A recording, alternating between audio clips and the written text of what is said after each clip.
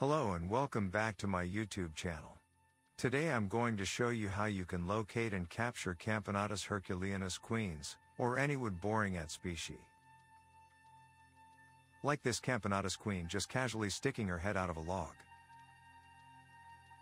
The country I'm in is Sweden, but Camponotus herculeanus can be located throughout all of the northern hemisphere including countries such as Canada and the United States. I go on Google Maps and search for places where there has been deforestation and logs has been left over and started to rot. This is a perfect place for Camponotus and other wood boring and species to found their colonies. The place I'm searching today is a location which has been in this condition for about a year. Since the nuptial flights usually takes place around late May to July here there is still time to find last year's queens after their first hibernation. At this point their first brood is still in a larvae state or with their first neniticus workers.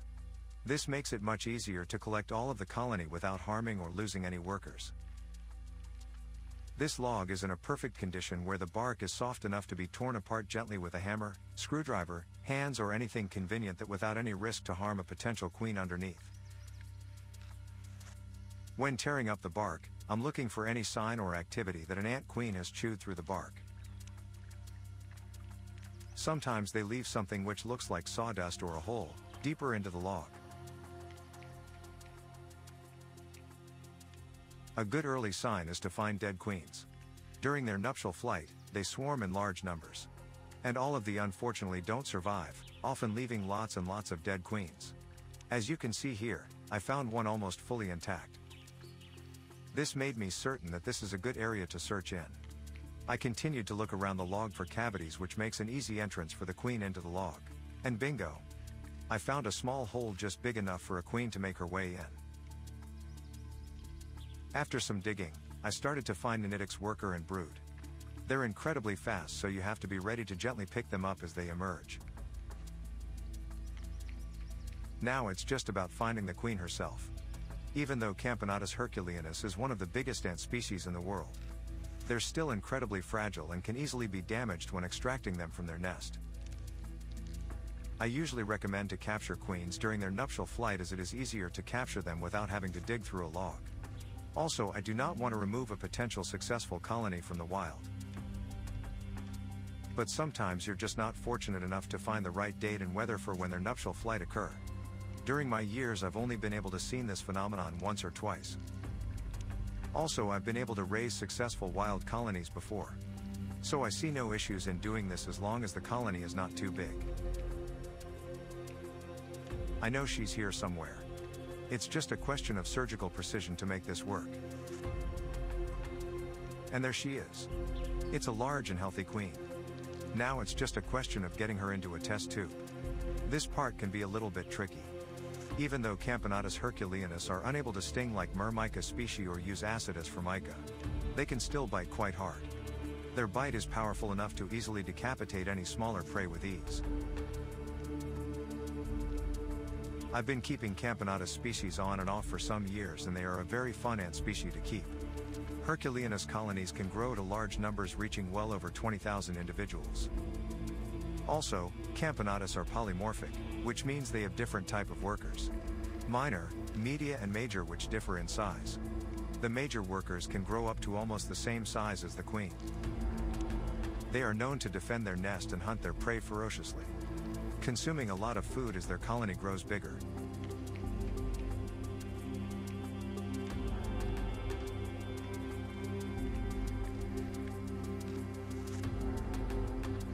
Knowing that there are living queens in this log I decided to continue looking for more. During this time there was also the nuptial flight for the Formica rufa species and they were literally crawling around everywhere.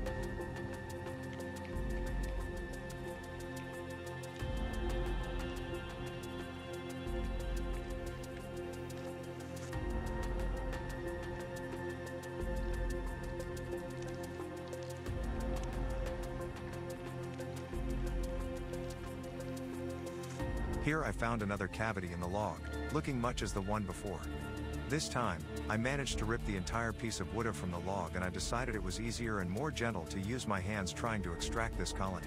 Sometimes the wood is so moist and rotten, it's easy to take it apart, making the job a lot easier.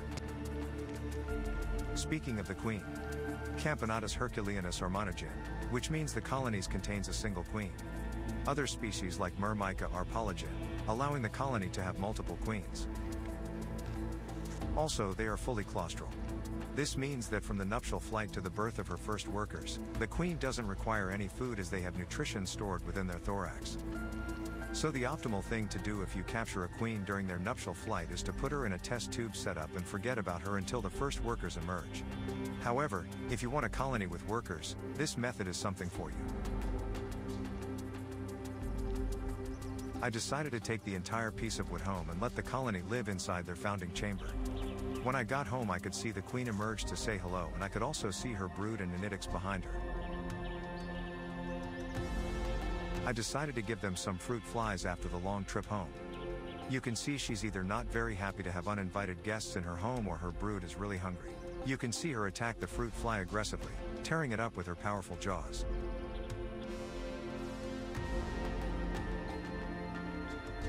In the wild heat diet consists of the honeydew produced by sap-sucking insects and the ants also consume any insect larvae that they encounter. The ant cricket Myrmecophilus purgandi sometimes lives in the colony, where it is tolerated by the ants. Therefore I try to mimic their natural diet by feeding them honey water and insects consisting of mealworms, crickets and fruit flies. But as the colony grows larger so does their appetite. An ant can eat up to 30% of their body weight on a daily basis. So having one of the largest species on the planet which can grow up to 20,000 individuals, you guessed it. They eat a lot. Camponotus use their major workers to tear up larger prey and to store food, where they distribute the food to the workers and brood. Camponotus herculeanus is the most cold-tolerant ant species known, surviving to below minus 40 degrees Celsius. Perhaps that's why they are considered the Hercules ant, due to their strong jaws, huge size and durable bodies. This truly is an amazing ant species to keep.